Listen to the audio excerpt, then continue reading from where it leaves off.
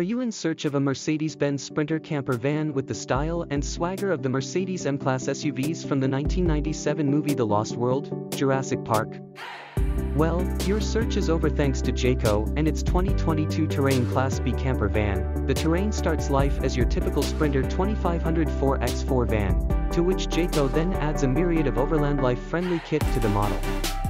This includes a set of Koni-sourced shock absorbers, a more robust rear sway bar, a set of BF Goodrich all-terrain.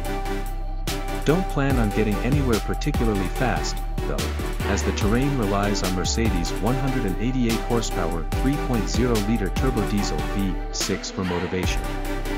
Nevertheless, the engine's 325 lb-ft of twist, which is available at a low 1400 rpm, ought to work with the terrain's chunky all-terrain tires to ensure the van can make its way through tough, air, terrain, unlike the fictional Jurassic Park, the Jayco terrain is real. Is it worth your money, though?